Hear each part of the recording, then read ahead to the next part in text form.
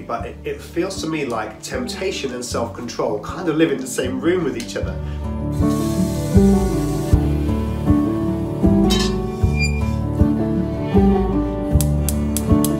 I look at the way I live, the struggles I know that go on inside my head and my heart, and, and I'm like, who's driving this thing anyway?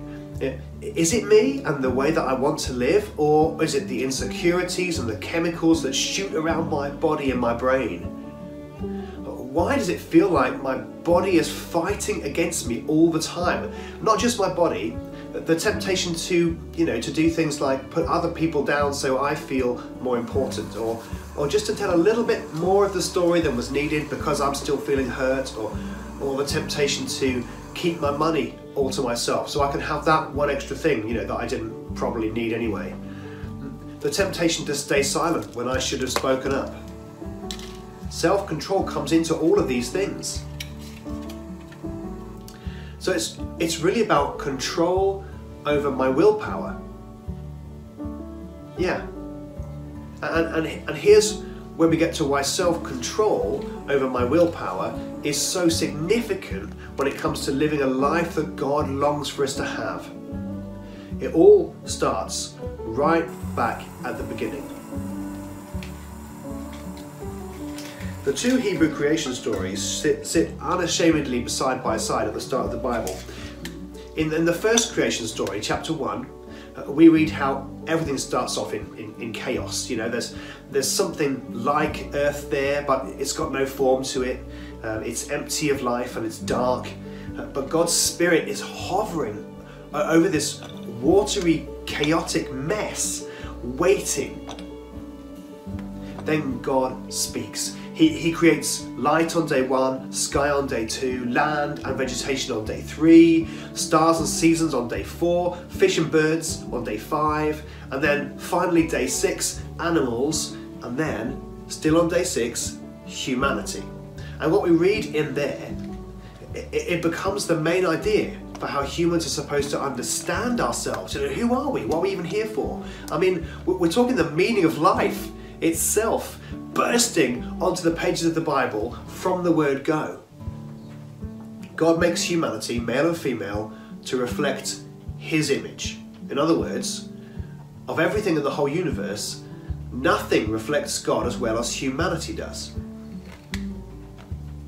Then we come to the second story, just at the start of chapter 2 of Genesis. In this story, humans are made first. We're made out of mud he creates the first ever human, Adam, and he breathes life into Adam. By breathing into his lungs, he breathes his spirit into him. There's the second significant thing about humans. We're designed to carry the breath of God inside us, God's spirit living in us. So after he's breathed the spirit into Adam, then come the plants and the animals, and eventually God brings a second human into the world made from part of Adam. It's all going well, isn't it?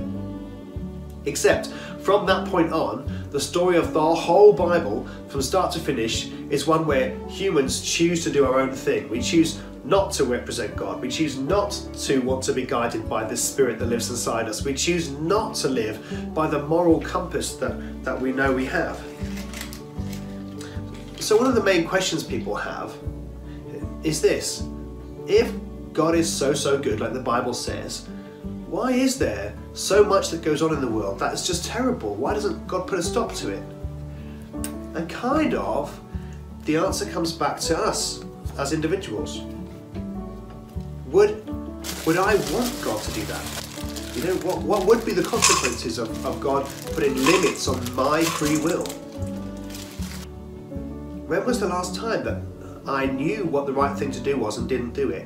When was the last time I personally knew the wrong thing to do and just waited right on in? You know, I don't know about you, but for me, that's like a daily occurrence.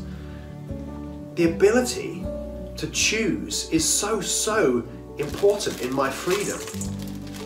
Would I want to have children who were robots, who, you know, who, who love me because they had to love me?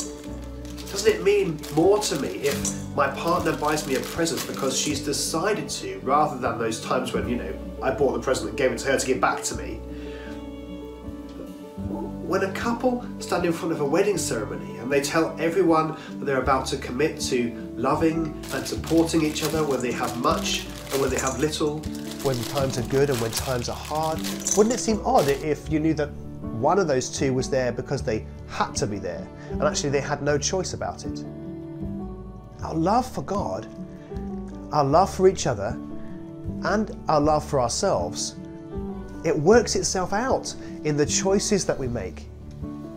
It's the freedom to make those choices that make our acts of love have meaning. Someone begrudgingly loving you means so little. Someone going out of their way to show they love you means so much.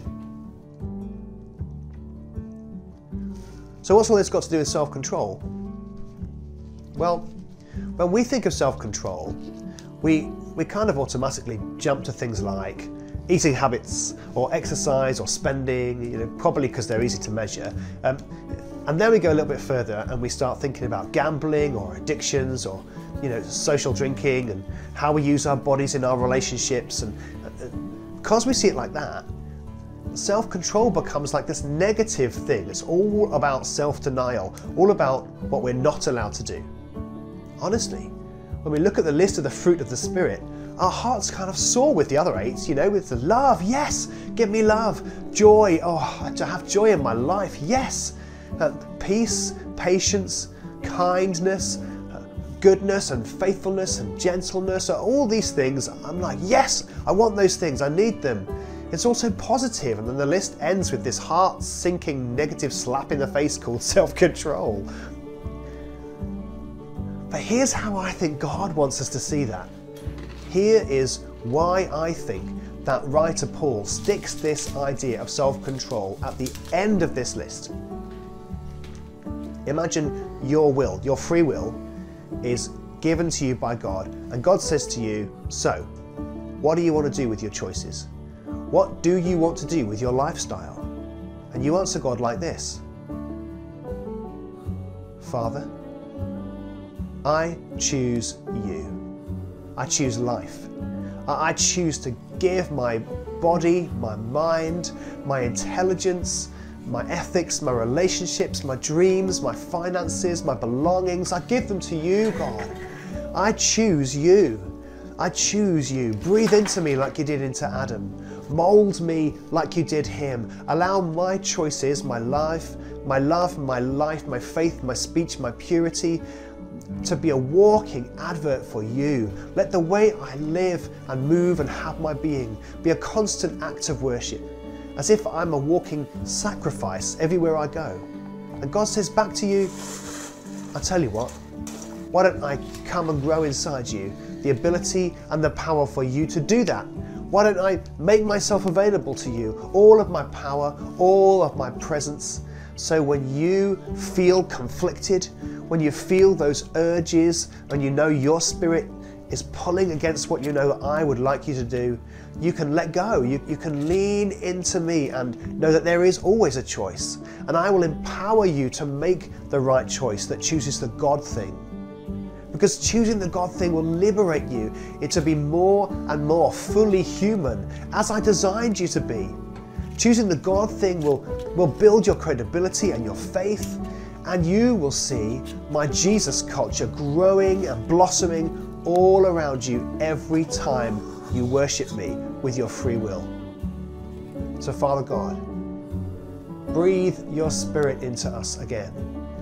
Jesus, we ask you to move in us. Help us to see how you would have lived if you were in our shoes. And Spirit of God, we offer you our, our souls and our bodies to be a living, walking sacrifice. Would you send us out everywhere in your power so we can live and work in ways that honor you and display all of your goodness? Amen.